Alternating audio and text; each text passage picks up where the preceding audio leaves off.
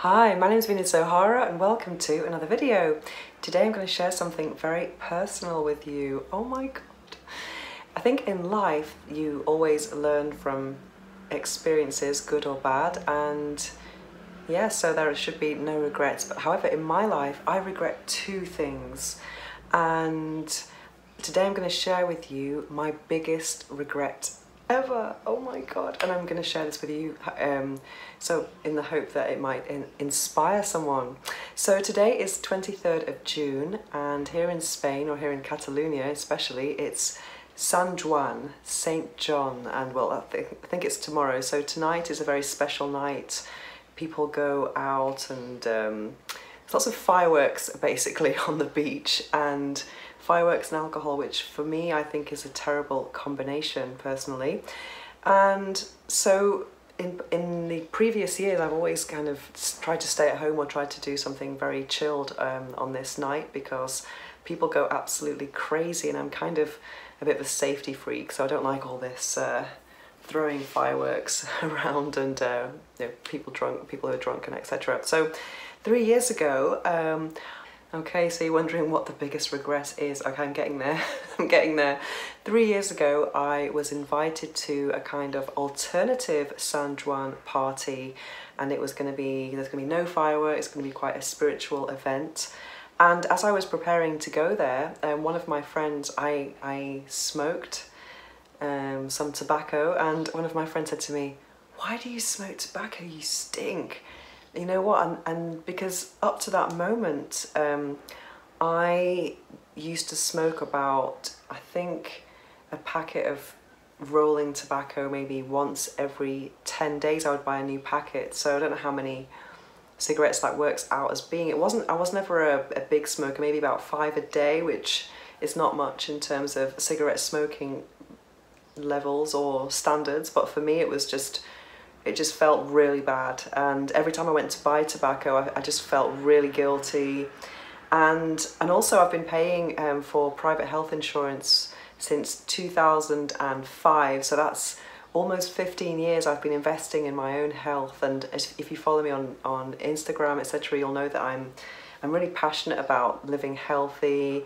I'm, I'm a vegan, I don't drink alcohol, so it hasn't always, it's been a kind of a journey. So I've always been quite healthy, and even before I was vegan, I was um, vegetarian for many years. I've always liked walking, so uh, I've always pra practiced yoga for many years as well. But the one thing that I did, what, which was not good for my body, was smoking and I felt so guilty about that because I thought you know you can go to the doctor any day and be sick for some reason maybe you're stressed or there's some things that are out of your control that are affecting your body and your health. Whereas smoking was something that I was paying to do to myself. It was complete self-destruction and that's why I regret it so much because I already knew that it was bad for me but it, I kept going kept doing it kept doing it.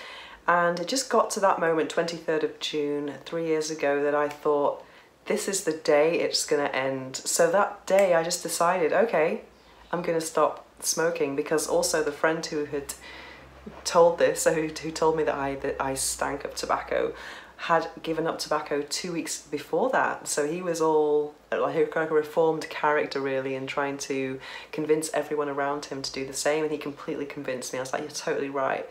So that day I gave up and the next couple of weeks were really hard. I mean, really hard. And I, I just want to say that I have, I've never smoked since, so I just gave up like that. I'm going to share with you how I did it. So if you're a smoker, I hope this, this might inspire you somehow. Well, here in Spain at the time it was cherry season. So I ate lots and lots of cherries and so yeah it was that oral fixation it was really hard for me to concentrate as well so I found that I just eating lots of cherries helped somehow but one massive help for me was um, I found a timeline online describing everything that happens to your body after you stop smoking. It was really inspiring. For example I didn't realize how quickly the nicotine comes out of your system. It's very fast. So that means, I can't remember precisely, but it was something like a couple of days after was the hardest moment and you're really at craving that, that nicotine.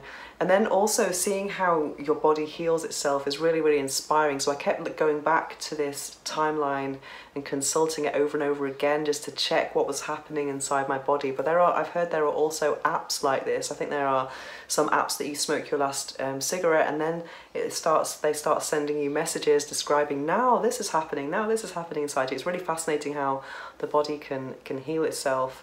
And so that's what I did. I, um, I consulted this uh, this timeline over and over again and I realized that over time I was consulting it less and less because at first I think when you give up something that you enjoy that's bad for you the same happened to me with alcohol is that at first there is a, a period of temptation just to go back and do it all over again but then there there is a period of once it's out of your system and you start to just change your habits I think there is a period of absolute rejection which goes on forever, hopefully.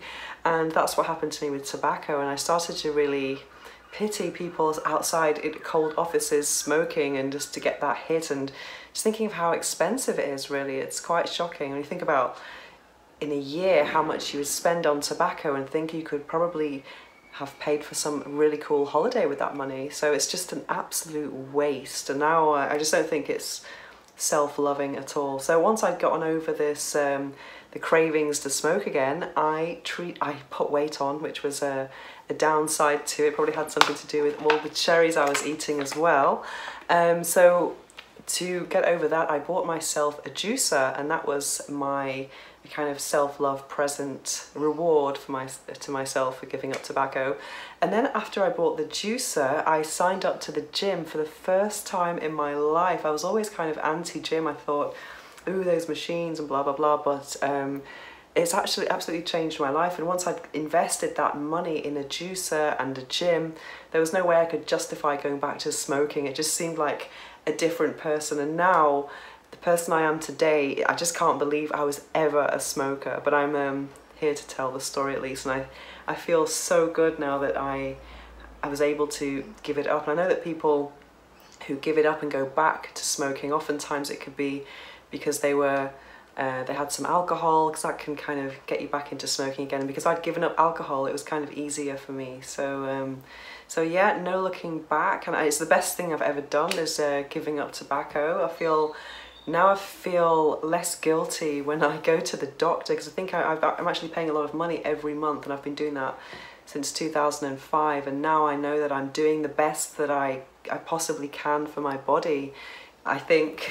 So uh, so yeah and tobacco is never ever ever good. So if you want to give up smoking I encourage you to make that decision and do it today. Anyway, I hope you've enjoyed this video and I hope you found it inspiring and see you next time.